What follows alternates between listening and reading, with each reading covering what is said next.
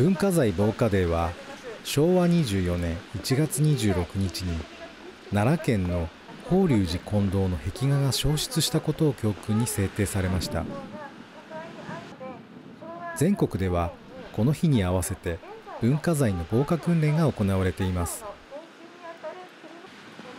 訓練は市や文化財の関係者そして消防機関が連携を図り火災などの災害から文化財を守ることを目的に市教育委員会が行っています。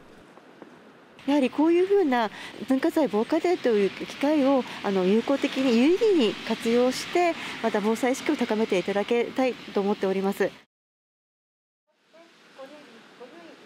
この日の訓練には県や市の職員と消防隊員そして陽泉寺の関係者などおよそ20人が参加しました。から火事だ気をつけて火事だ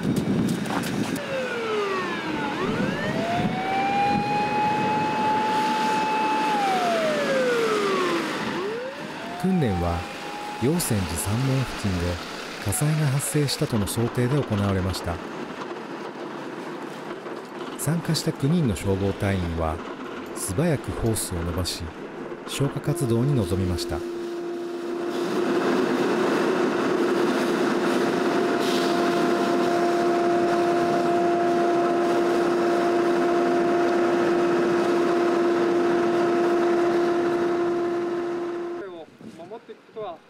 訓練の後には市消防署の土田所長がこのような文化財を守っていくことは非常に大切なことだと思っています。今後もこのような訓練を継続していきたいので引き続きご協力をお願いしたいと好評を述べました。行政だけではどうにもならないところがあるので地域住民の方が文化財を守るっていうこう姿勢をこう調整してもらうのが一番の訓練ではないかなと常日頃から思っております。続いて参加者による水消火器での訓練も行われました。大きな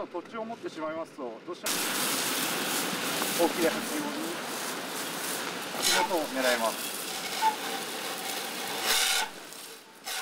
実際急にその場にあってもなかなか対応できないのでやはり普段の訓練が大切なんだと思っております文化財ですからお寺の宝物だけではなくて町の宝物ですので永遠にこれを守っていきたいなこのように思っております参加した人たちは訓練を通して文化財を守ることの大切さを学んだようでした。